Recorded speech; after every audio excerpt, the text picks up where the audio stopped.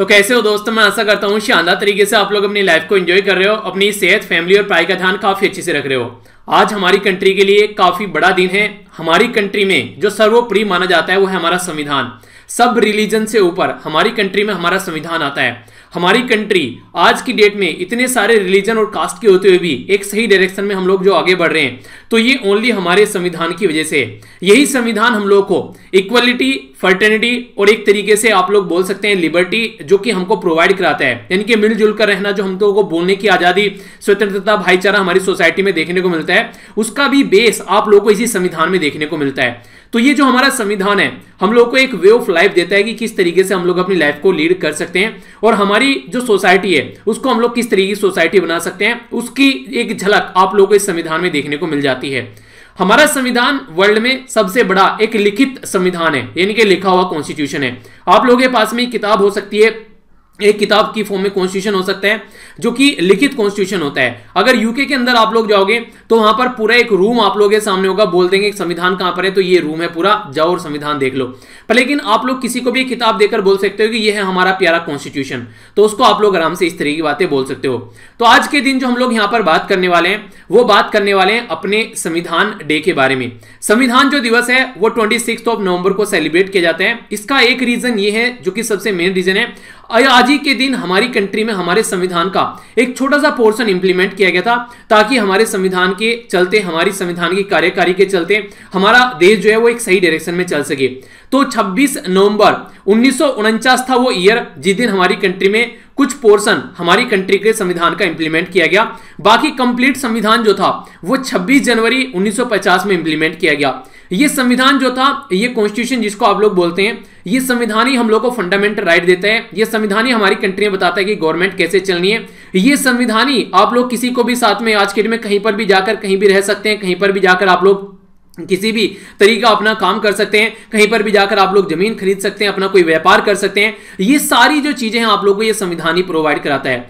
तो ये जो संविधान है, इसके जो निर्माता थे भीमराव अंबेडकर जी, जो कि ड्राफ्टिंग कमेटी के चेयरमैन थे। ड्राफ्टिंग कमेटी वो कमेटी होती है, जो हमारे संविधान को ड्राफ्ट करती है, यानी कि लिखती है। तो उसके जो एक जो चेयरपर्सन थे, वो थे हमारे कंट्री के डॉक्टर भीमराव अंबेडकर जी। डॉक्टर भीमराव अंबेडकर जी के द्वारा आर्टिकल 32 यानी कि आर्टिकल 32 को हमारे संविधान में heart and soul of the constitution बोला गया है। वो इसलिए बोला गया कि ये हमारे संविधान का दिल है आर्टिकल 32 क्यों? क्योंकि इसलिए बोला गया क्योंकि उसकी वजह से ही फंडामेंटल राइट को इंप्लीमेंट किया जाता है। अगर कोई आप लोग फंडामेंटल राइट का हनन करता है तो। तो ये है कुछ बातें हमारे संविधान के बारे में। आई होप कि आप लोगों ने इनको एंजॉय किया होगा। तो आइए अब आगे बढ़ते हैं। आज का डिस्कशन देखते हैं। उससे पहले आप लोगों के सामने क्विज क्वेश्चन इनको अटेम्प्ट कीजिए, फिर जैसे ही आप लोगों का डिस्कशन आगे बढ़ेगा तो इन क्वेश्चन के आंसर आप लोगों को मिलने स्टार्ट हो जाएँगे। तो ये आप लोगों को पूरा डिस्कशन का एक ओवरव्यू भी आप लोग इसको बोल सकते हैं। हमारी कंट्री में अभी रिसेंटली टेंथ एडिशन यानी कि दसवां संस्करण नेशनल साइंस फ़िल्म फेस्टिवल का ये स्टार्ट किया गया वर्चुअल मोड में। कहा? किसके द्वारा? ये है विज्ञान प्रसार। तो विज्ञान प्रसार जो है, यहाँ पर ये एक ऑटोनोमस एजेंसी है। किस पर्टिकुलर ऑर्गेनाइजेशन के अंदर में? ये बताना है। एक स्कीम है यहाँ पर जिसको बोलते हैं basically scheme for creation of infrastructure for agro processing cluster 2017 में हमारी कंट्री में स्कीम इंप्लीमेंट की गई थी। किसके तहत यहाँ पर ये स्कीम इंप्लीमेंट की गई है?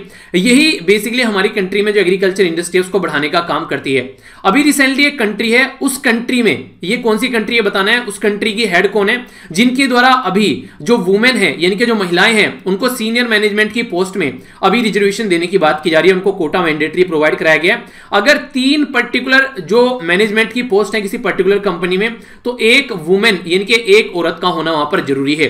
तो कौन सी कंट्री के द्वारा ये प्रोविज़न अभी इंप्लीमेंट किया गया है? Twenty fourth November each year हर साल हमारी कंट्री में यह यहाँ पर लचित दिवस के रूप में सेलिब्रेट किया जाता है। तो कौन से राज्य में ये डे सेलिब्रेट हम लोग करते हैं? अभी recently third global renewable energy investment meeting and expo जिसको री इन्वेस्ट के नाम से आप लोग जानते हैं। ये इनोग्रेट की गई किसके द्वारा? और हमारी कंट्री में कौन सी मिनिस्ट्री है जिसको ऑर्गेनाइज कराती है? दो क्वेश्चन हो गए, और इसकी थीम क्या है? ये भी इंपॉर्टेंट क्वेश्चन आप लोगों से बन सकता है, क्योंकि रिन्यूएबल एनर्जी पर काफ़ी ज़्यादा फोकस दिया जा रहा है। सीसीआईएम क्या है? यहाँ पर एक स्टेचुटरी बॉडी है जो हमारी कंट्री में रेगुलेट करती है। आयुर्वेदा सिद्धा रोवा रोवा रिक्पा ये यूनानी मेडिसिन जो सिस्टम है, वो इसी के द्वारा रेगुलेट हमारी कंट्री में किया जाता है। तो इस जो पर्टिकुलर बॉडी है, इसका फुल फॉर्म यानी कि इसका नाम आप लोग को बताना है। तो ये था क्विज जो आप लोगों को अटेम्प्ट करने आइए अब डिस्कशन की ओर आगे बढ़ते हैं। एक एक पर्टिकुलर न्यूज़ देखेंगे, अच्छे से अटेम्प्ट कीजिएगा। फिर वीडियो के एंड में आप लोग इनका आंसर बताइएगा ओके काफ़ी इंपोर्टेंट न्यूज़ है, यहाँ पर बात की जा रही है अभी रिसेंटली जर्मनी जो कि यूरोपियन कंट्री है। अगर मैप में आप लोग देखना चाहते हैं तो यहाँ पर आप लोगों को जर्मनी देखने को मिलेगा। ये हो गया फ्रांस और ये है अपनी प्यारी कंट्री अपनी कंट्री के साथ में कंपेयर कर कर लोकेशन को ज़रूर देखा कीजिए। तो यहाँ से अगर आप लोग बात करते हैं तो यहाँ की आज की डेट में जैसे हमारी कंट्री में प्राइम मिनिस्टर होते हैं तो जर्मनी में चांसलर बोलते हैं उनको, जो वहाँ के हेड होते हैं हेड ऑफ़ द गवर्नमेंट तो चांसलर जो जर्मनी के हैं, वो है एंजेला मार्कल तो जर्मनी में अभी जो रूलिंग कोएलिशन है, उसके द्वारा बोला गया, जो गवर्नमेंट है, उसके द्वारा बोला गया है कि मैंडेटरी कोटा दिया जा रहा है वुमेन को मैनेजमेंट पोजिशन के अंदर में. किसी पर्टिकुलर कंपनी में अगर तीन एग्जीक्यूटिव बोर्ड है तो बोर्ड है उसमें मेंबर है तो उसमें से एक जो मेंबर होगी वो महिला होगी। यानी कि ये कंपलसरी यहाँ पर किया गया है। आज से पहले भी यहाँ पर ये चीज़ें थी, पर लेकिन अब कंपलसरी प्रोवाइड करा दिया गया है यहाँ पर। अगर बात करें फेडरल गवर्नमेंट के हिसाब से अगर हम लोग बात करें तो यहाँ पर जैसे बोला गया कि 30 परसेंट के करीब आप लोगों का मिनिमम पार्टिसिपेशन होना चाहिए एग्जीक्यूटिव बोर्ड के अंदर में। यानी कि 30 प्रतिशत तो कम से कम महिला वहाँ पर होनी ही होनी चाहिए। तो ये जो फाइनल डिसीज़न यहाँ पर लाया गया है तो सेकंड मैनेजमेंट जो सेकंड मैनेजमेंट पोजीशंस एक्ट है, उसके हिसाब से यहाँ पर कैबिनेट के द्वारा इसको बेसिकली अप्रूवल देने की कोशिश की जा रही है। तो इसका मतलब क्या जर्मनी में इससे पहले कोई प्रोविज़न नहीं था? था। सिंस यहाँ पर अगर बात करेंगे 2015 से जर्मनी के अंदर यूरोप की जो बिगेस्ट इकोनॉमी है यहाँ पर आज की डेट में तो इसका वॉलेंट्री कोटा था 30 परसेंट वुमेन जो होनी चाहिए, वो सुपरवाइजरी बोर्ड में होनी चाहिए। पर लेकिन वॉलेंट्री का मतलब होता है कि अपने हिसाब से कर लो भैया तुम, हमको प्रेशर न डालना पड़े।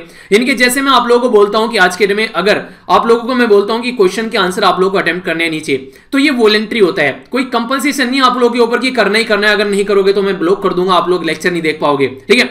तो यहाँ पर क्या हो गया? एक वॉलेंट्री हो गया। पर लेकिन अगर मैं बोलूँ कि आप लोगों को करना ही करना है, वरना ब्लॉक कर दूँगा तो सब बच्चे जो है वो आंसर देंगे। तो इससे आप लोगों का ही फ़ायदा होगा वैसे तो। पर लेकिन यहाँ पर अब तक क्या था? वॉलेंट्री बोला गया था कि करना हो, कर लो, नहीं तो नहीं करना है। तो उससे क्या करते थे? बहुत कम लोग ऐसे थे जो कि यहाँ पर इसको प्रोवाइड कराते थे रिजर्वेशन को। और इसकी वजह से कोई ज़्यादा इंप्रूवमेंट देखने को नहीं मिला था।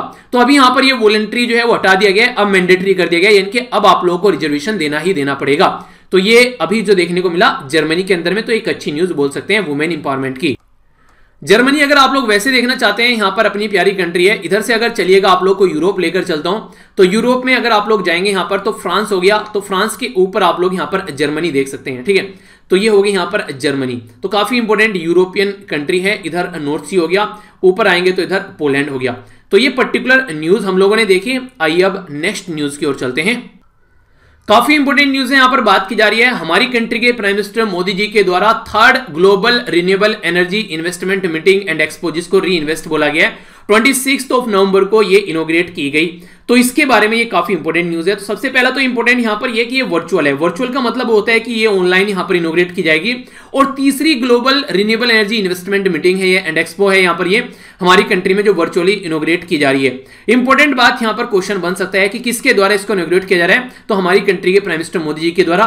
ऑर्गेनाइज किसके द्वारा की जा रही है ये? तो ministry of new renewable energy यानी कि एक तरीके से जो रिन्यूएबल एनर्जी है, उसके द्वारा इसको इनोग्रेट इसके द्वारा इसको ऑर्गेनाइज कराया जा रहा है। 26 से लेकर 28 नवंबर तक यहाँ पर ये मीटिंग आप लोगों को देखने को मिलेगी।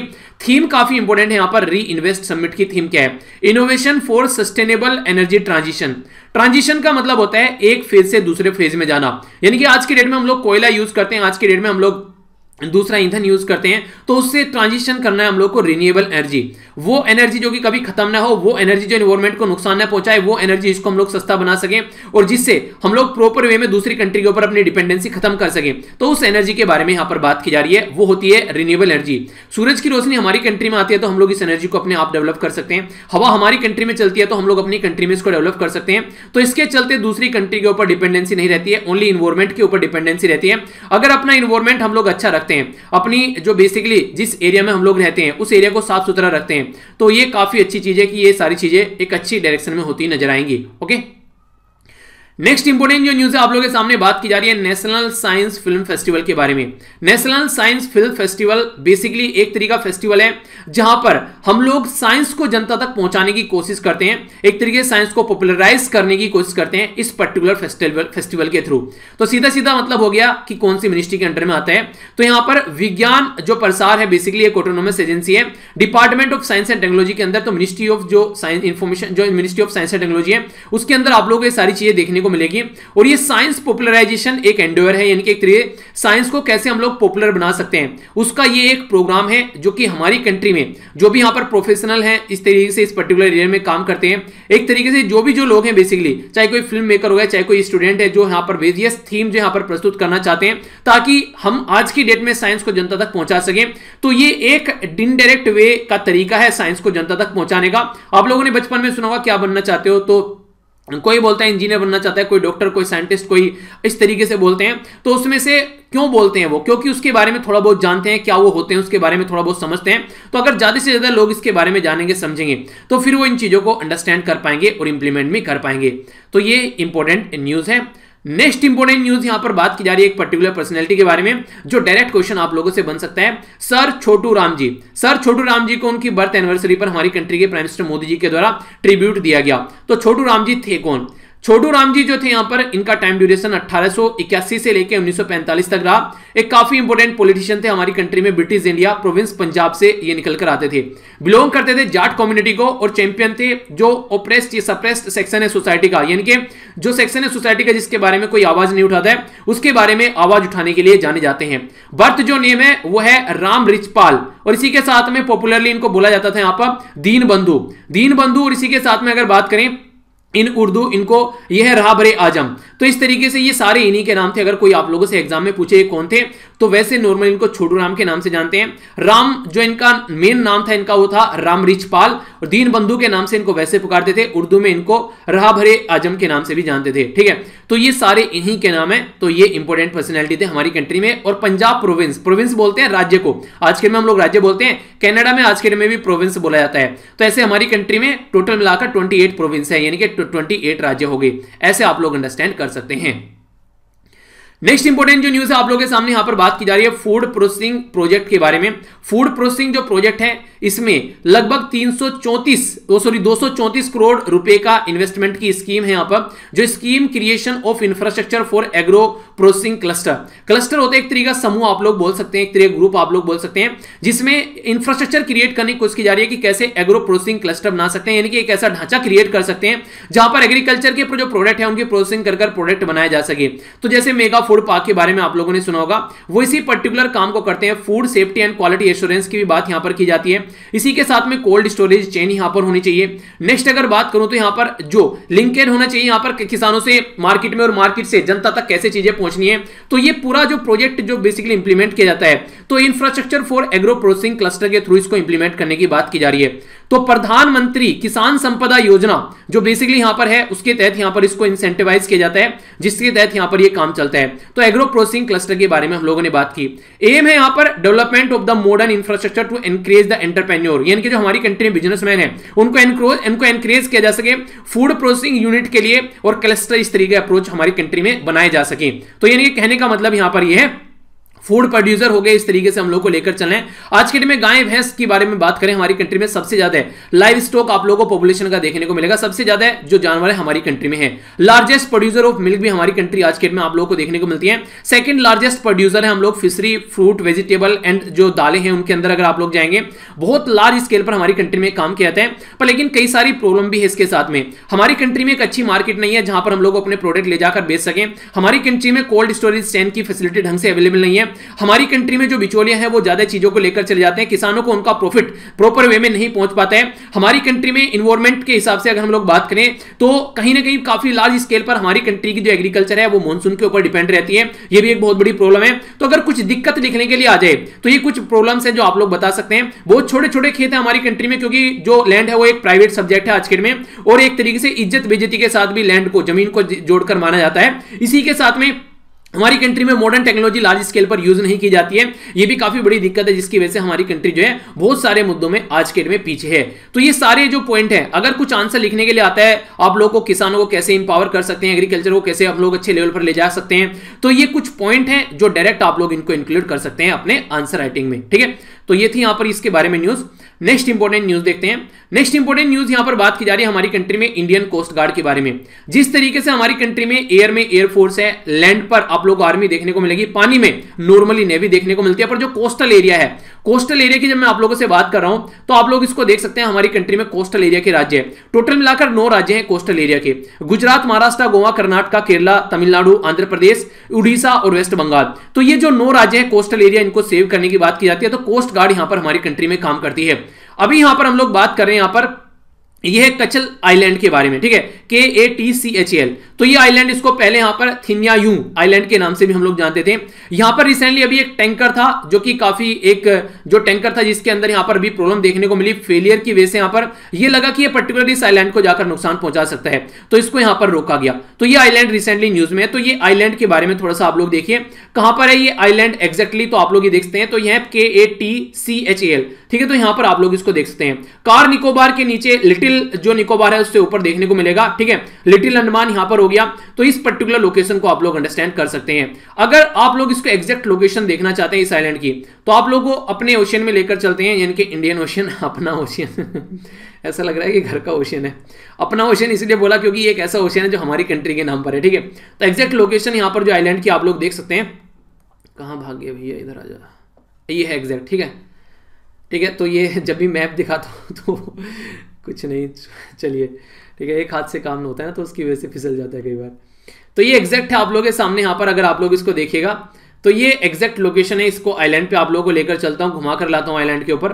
तो ये एग्जैक्ट आइलैंड है यहाँ पर, ठीक है? तो ये हो गया यहाँ पर आइलैंड ओके जिसके बारे में बात की है। तो ये आइलैंड के ऊपर यहाँ पर दिक्कत हो सकती थी तो इसके चलते यहाँ पर ये अभी न्यूज़ में था। तो निकोबार आइलैंड के बारे में बात की जा रही है।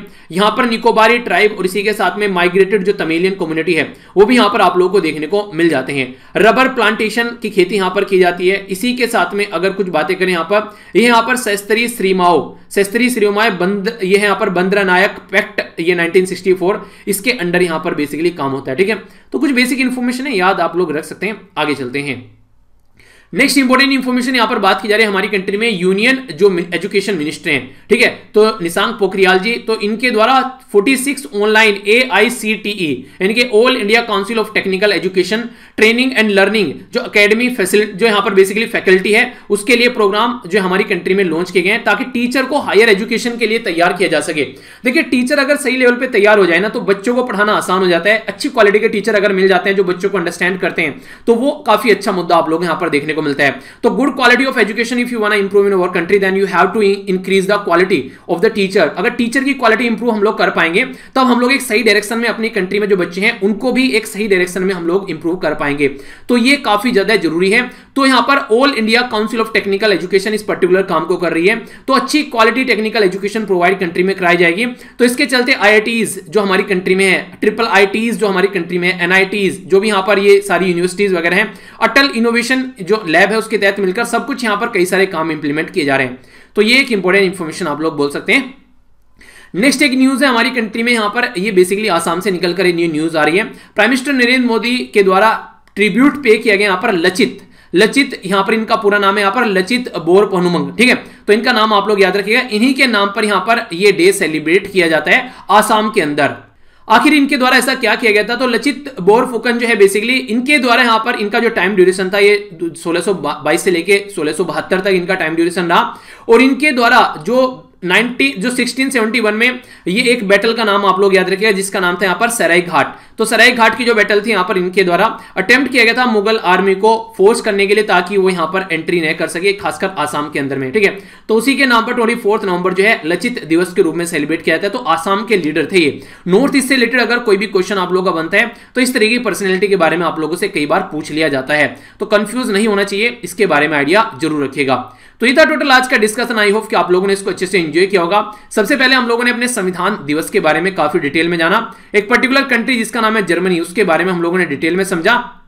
वहाँ पर एक रूल के बारे में बात की। हमारी कंट्री में रिन्यूएबल एनर्जी के बारे में बात की जा रही है, वो हम लोगों ने देखा।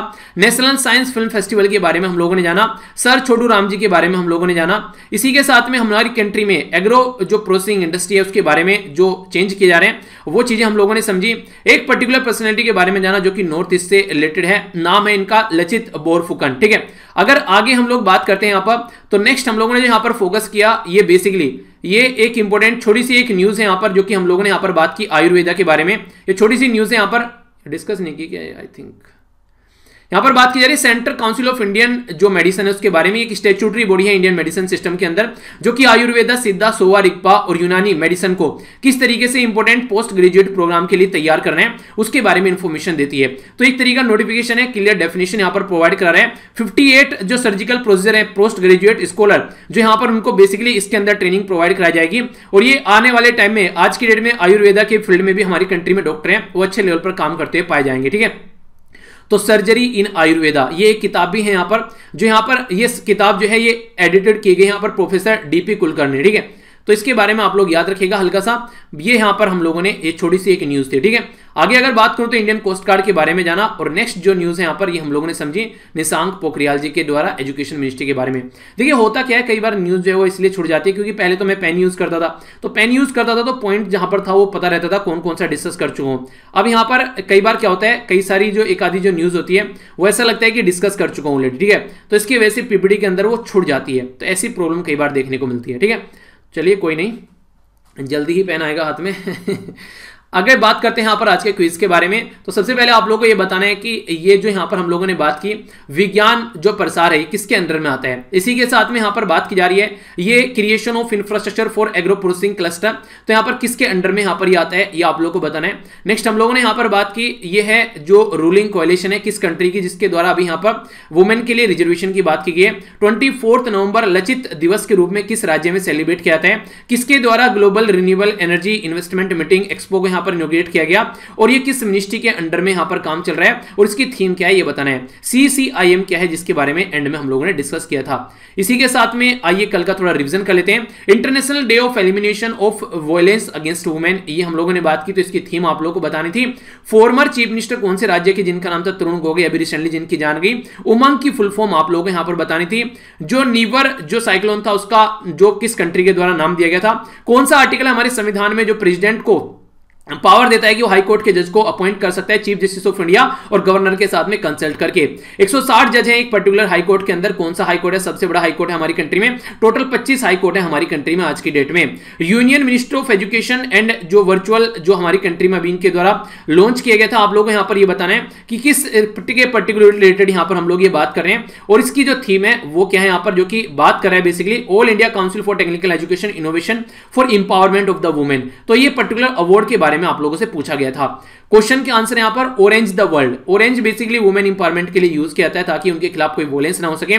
तो fund response prevent and collect हम लोगों ने डिस्कस किया था। आसाम के बारे में बात करें तो यहाँ पर तरुण गोगोई चीफ मिनिस्टर, इसके बारे में हम लोगों ने जाना था। उमंग एफ़ यहाँ पर unified mobile application for new age governance ठीक है? तो ये इसकी फुल फॉर्म है। ईरान ने नाम दिया था नेवर का आर्टिकल 217 इसके बारे में याद रखना, ये प्रेसिडेंट को पावर देता है। अपॉइंटमेंट ऑफ़ द हाईकोर्ट जो जज होते हैं उनके लिए। अलाहाबाद हाईकोर्ट सबसे बड़ा हाईकोर्ट और पुराना काफ़ी हाईकोर्ट हमारी कंट्री में टोटल पच्चीस हाईकोर्ट है हमारी कंट्री में। लीलावती अवार्ड के बारे में हम लोगों ने जाना था और इसकी थीम जो है वो है वुमेन इंपावरमेंट तो ये था टोटल आज का डिस्कशन मैं आशा करता हूँ कि आप लोगों ने शानदार तरीके से इसको एंजॉय किया है। तो इसी तरीके से चीज़ों को एंजॉय करते रहिए। और मॉर्निंग में आप लोगों के हिंदू का जो डिस्कशन था, उसके दो लेक्चर आए थे।